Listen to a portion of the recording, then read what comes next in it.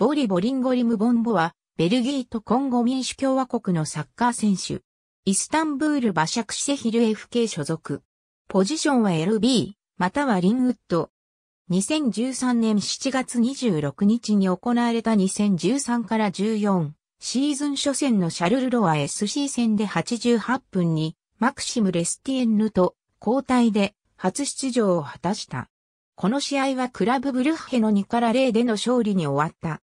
2015年3月19日には UEFA ヨーロッパリーグ2014から15決勝トーナメントのラウンド16でベシクタシュ JK から初得点を獲得、クラブも準々決勝へと駒を進めた。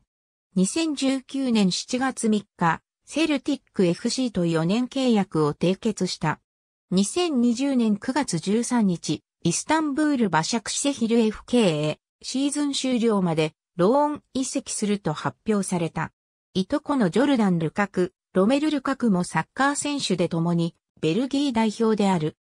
2020年8月9日、キルマーノック戦前にクラブに無断でスペインに渡航し、新型コロナウイルスの検疫規則に違反したために、スコットランドのニコラス・タージョン首相は、セルティック戦の2試合の延期を発表した。ありがとうございます。